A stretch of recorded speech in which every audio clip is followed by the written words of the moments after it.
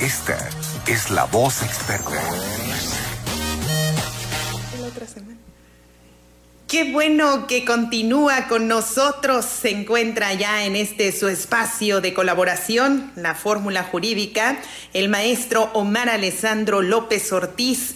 Y bueno, nos trae un gran tema, maestro. Bienvenido. Gracias, Lili. Muy buenas tardes. Saludos a, a tu auditorio y a todos los que nos escuchan. Pues sí, traemos un tema innovador que después del tema de, de seguridad pública que está tremendo, Lili, considero que el más importante es el derecho al agua y Sí. del medio ambiente. Considero que hoy los que aspiran y pretenden ocupar un espacio de elección popular tienen que opinar y tienen que legislar sobre el tema del derecho al agua. Hay una gran preocupación como abogado, te lo digo, y como ciudadano, que tanto en la ley estatal del agua potable como en el Código Penal para el Estado de Morelos, eh, evidentemente y en, en- la ley del equilibrio ecológico y la protección del medio ambiente en el Estado de Morelos, no existe una sanción corpórea. Es decir, no hay una sanción eh, de como un tema de prisión para aquellos quien desperdicien o inutilicen el tema de- del gran líquido como, como es el agua. Cuando nosotros nos referimos a esta circunstancia de que a usted vecino el día de hoy no lo abastecieron de agua, por ejemplo, en la colonia Lomas de Axingo, ¿no? de, de la ciudad de Cuernavaca, tendríamos que entender por qué razón no hay agua. ¿sí?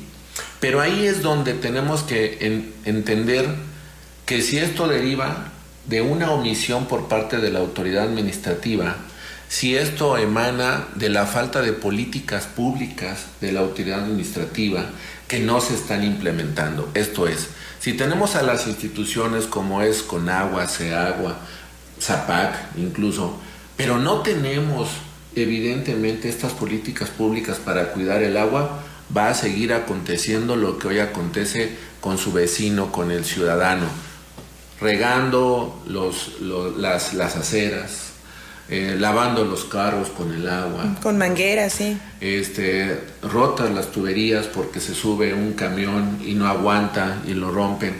Pero el tema es cómo sancionar evidentemente a las personas que están eh, desperdiciando el agua. Pues con una gran tristeza les digo que solamente existen sanciones pecuniarias.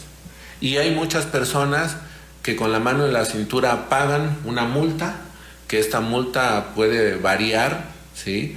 Y que en algunos otros casos tiene que ver con los arrestos, ¿sí? Hasta por 36 horas, por un tema del desperdicio del vital líquido. Ustedes se preguntarán, y tú te preguntarás, Lili, bueno, sí, pero ¿y cómo vamos a sancionar a aquellos que siguen desperdiciando el agua? Pues solamente con multas Sí. pero nada más.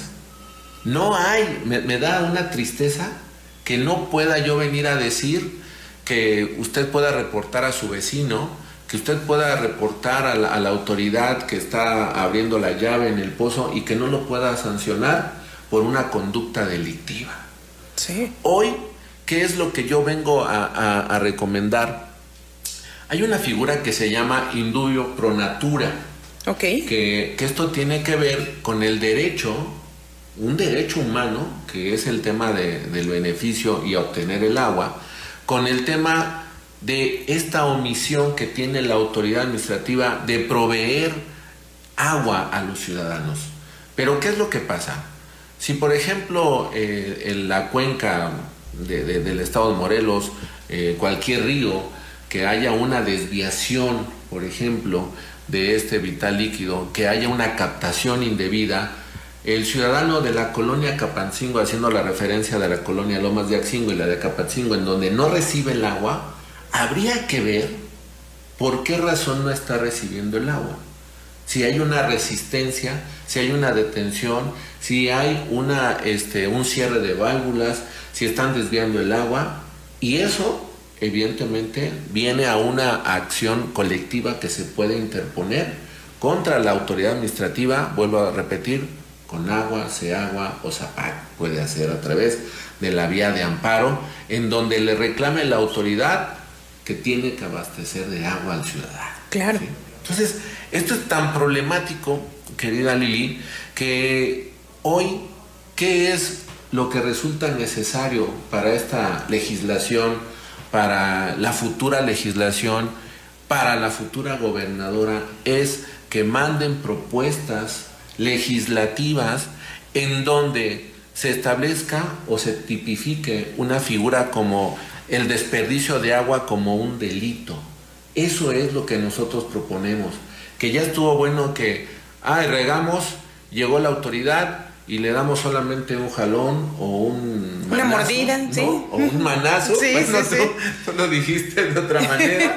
y, y que hoy nuestra recomendación, ciudadanos, es que podamos sumarnos en esta gran cruzada para poder defender este vital líquido que es el derecho al agua, que podamos sumarnos y que se establezca en la constitución política como un derecho humano. Eso es lo que nosotros vamos a, a proponer a que estas nuevas legislaturas que hoy día vienen, Lili, pues se comprometan con los ciudadanos. Porque hoy, créeme, que lo estamos viviendo, ¿eh? Sí, sí, sí. Justo nos llegó una participación de la audiencia Sí. en este sentido, maestro. Si, Sí, si eres tan amable, favor. nos escribió alguien de Atlatlaucan y bueno, bueno, su queja por el agua es en el sentido también es de los costos. No, corrijo, es de Ayala y dice. Eh, aprovecho su espacio para denunciar que la Comisión del Agua Local se reunió para incrementar al doble el costo en los recibos del agua, lo que se me hace totalmente injusto porque el agua que nos envía no es potable como marca la ley, porque no se reúnen eh, para analizar la calidad del agua y otorgan un descuento del 50% a los adultos mayores. Incluso nos envía copias de los recibos y dice que pues de un recibo a otro es el doble, el doble de pago que les está aplicando el sistema de agua de Ciudad Ayala. Y bueno, quien nos escribe es Jorge López del municipio de Ayala Morelos. Pues mira, eh, sin duda tiene que haber una acción legal. ¿sí? Nosotros decimos que este interés legal o legítimo sobre este, el entorno adyacente que le llaman, ¿sí? tiene que ver con el tema de dónde proviene el agua. Porque si el agua está contaminada, ¿sí? o tiene un problema de, de lo que conforma esta, este vital líquido, lo que se tiene que hacer, sin duda, es que puede iniciar una acción legal ¿sí? contra este, la autoridad administrativa del agua local para demandarle, primero, que es un acto violatorio el tema de este incremento si no está establecido en la ley, primeramente, no puede hacerlo. Y segundo, puede demandar como un derecho humano que le abastezcan de agua que evidentemente no venga contaminada.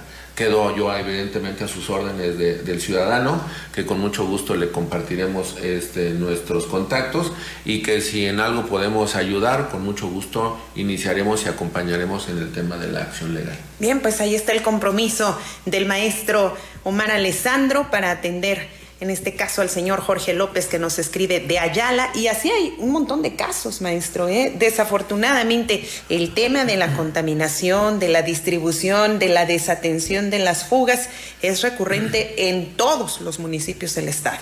Y es que el tema es, por ejemplo, eh, algunos restaurantes, hoteles que, que desperdician el, el agua. Es decir, ¿cuál es esta sanción? Pues solamente son sanciones pecuniarias. Pero hoy día, si trasladamos esta conducta al Código Penal del Estado de Morelos, en donde se tendrá que sancionar, en este caso, al administrador único de esta empresa, al, propietario de la casa, al ayudante municipal que está encargado de la colonia, de la ayudantía específicamente, y si no se tiene evidentemente la forma de sancionar estas conductas, porque lo que estamos viendo es que si no se establecen estas políticas públicas, ¿sí? Están siendo omisos, Lili. Y si esta omisión continúa, sin duda va a haber un momento en que el ciudadano ya no aguanta más, ¿eh? Sí, Ya no aguanta más. Entonces necesitamos que se metan a trabajar estos futuros legisladores, nuestra futura gobernadora, porque va a ser mujer. Sí, claro. No, no hay duda, ¿no? Y entonces nosotros haremos la propuesta en breve también a la legislatura y a, las futuras candidatas, las candidatas para los efectos de que puedan hacer esta propuesta como una conducta delictiva, el desperdicio del agua. Y vamos a darle seguimiento, por supuesto, porque es un tema, si me lo permite, válganme la expresión, de vida o muerte, ¿no? El agua, sin ella, pues no podemos y, y pronto estaremos en una crisis, ya estamos en una cuestión de falta de abasto en muchas partes de la República y Morelos también está en una zona crítica del país por la disponibilidad de líquido. Por eso la figura de la cuestión precautoria, eh, mando este, este, este llamado y esta cuestión a, que todos los municipios se encarguen precautoriamente de establecer estas políticas públicas, estas instituciones autónomas como es Conagua, Seagua, Zapac, que hagan lo propio, establezcan estas políticas, porque si no va a llegar un momento en que la ciudadanía no aguanta más. Bien, maestro. Omar Alessandro López Ortiz, muchísimas gracias como cada martes por esta su sección de fórmula jurídica. Al contrario, un placer y saludo a tu auditorio.